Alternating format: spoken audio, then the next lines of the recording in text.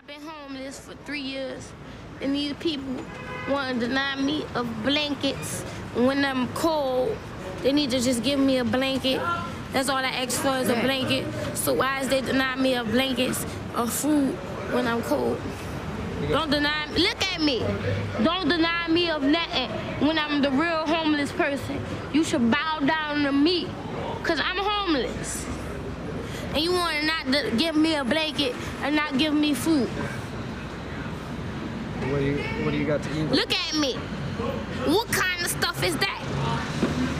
Here, here, darling. You know what? You're cold. Let's do this. This look. look let's get you. You want to go? Here. Let's let's do this. Put it over here. Wrap it around yourself. Here. Put, look. I got it.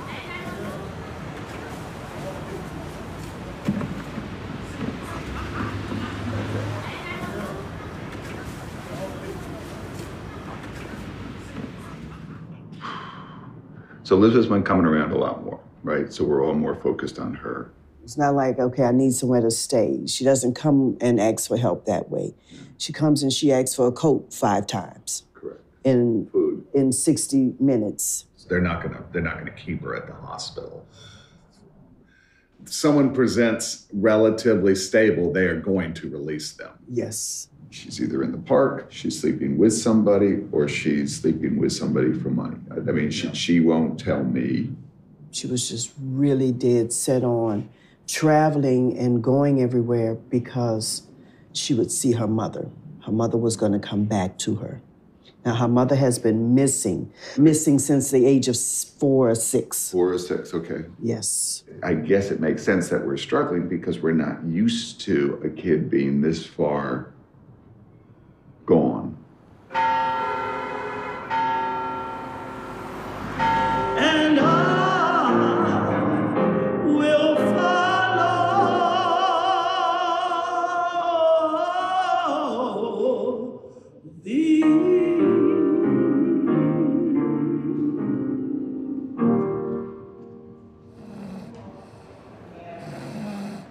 May the grace and peace of our Lord Jesus Christ, the blessings and love of God his Father, and the guidance and care of the Holy Spirit be with you all.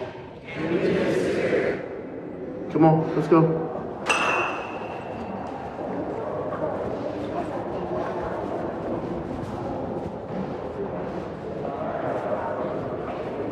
Ma'am, ma'am, miss. I heard you. Okay, I need you to get up.